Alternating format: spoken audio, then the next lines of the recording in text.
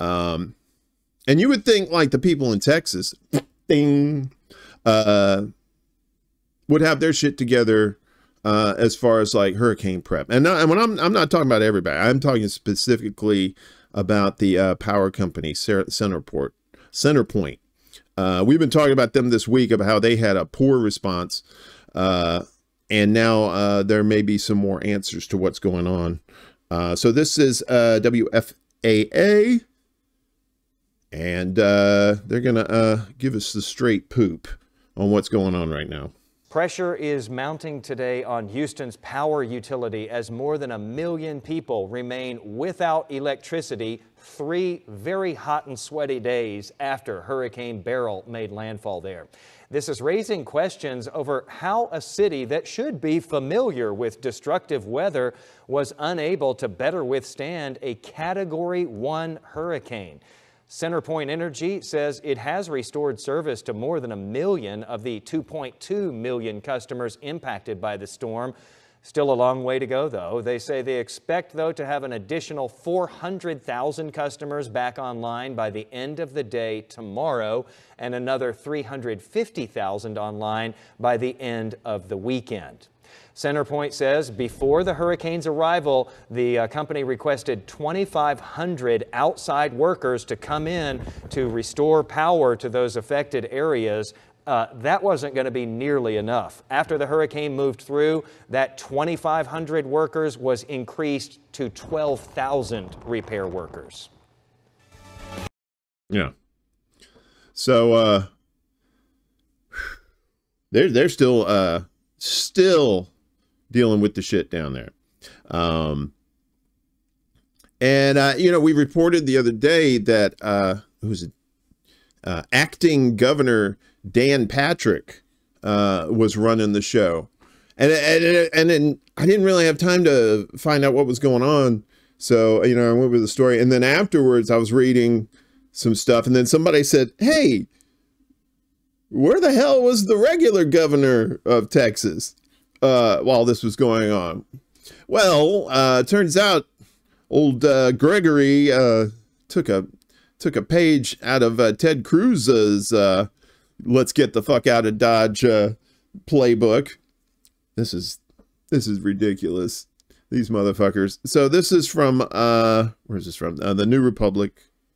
Uh, Hafiz Rashid is the byline. Greg Abbott traipses off to Asia as Hurricane Beryl pummels Texas. It seems the Texas governor is taking inspiration from Ted Cruz's infamous Cancun trip, dipping just as a natural disaster hits his state. Yeah. Um, so while Tropical Storm, Storm Beryl made land for uh, as a Category 1 hurricane on Monday on the Texas coast, knocking out power to at least 2 million homes, killing at least two people. Governor Greg Abbott was enjoying a trip to East Asia. Where's that? Uh, there you go, Rick. Privatization is one hell of a drug. Fuck you, people. I'm going to make some money. Uh, Abbott left for South Korea, Taiwan, and Japan on Friday as the storm uh, was foremost to hit Texas on Monday. He went ahead with his nine day trip anyway to, quote, drive forward progress in industries critical to the future of the global economy, according to a press release from his office. Many in Texas and on social media didn't see it that way, as uh, Abbott's trip seemed uh, quite similar to, as we said, Ted Cruz's uh, 2021 trip to uh, when he bolted to Mexico uh, when uh, the power grid was hit. It was a what was that was the uh when uh, in the winter, right? And you guys were down there in Texas were having like the hard freezes and the power lines were snapping and shit and and Ted Cruz is like having pina coladas. Um also uh Beryl's eye went right through Houston, got the strongest part of the storm. Yeah, that's true. That's true. That it was right on that northeastern tip there. Uh, and I remember Ike too. Ike years ago was a stronger storm, but the eye didn't pass through uh, Houston pop, uh, proper. Uh, they underestimated Beryl.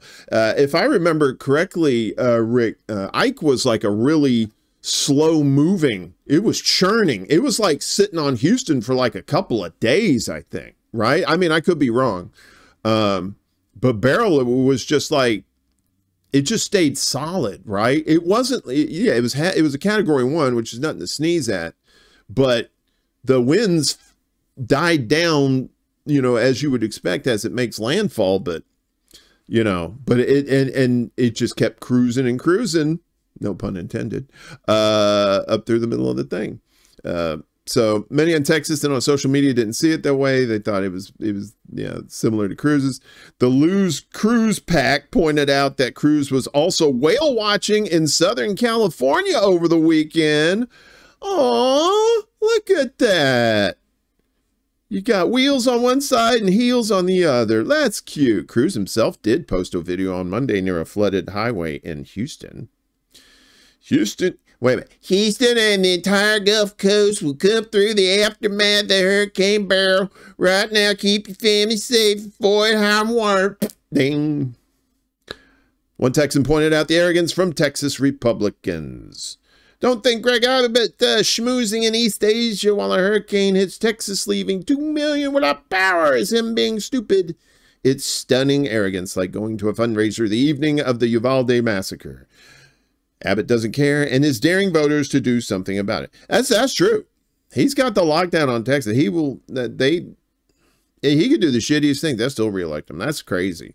And not all people in Texas. I'm not saying all of them, but the ones that actually control shit. Those are the ones you got to watch out for. And then uh, this guy Eric Swallowwell, Swallows well. I don't know what's the fuck name. He was bitching about. I don't really want to give him any press. Uh, he's uh, Abbott seemed to foresee a backlash on Sunday, posting a statement saying he was in daily contact with Texas Division of Emergency Management, local officials to ensure preparation of a good Beryl. Your safety is our top concern. Your safety is our top concern. We value you here on our Boeing airplane. Don't worry about the uh, wing falling off.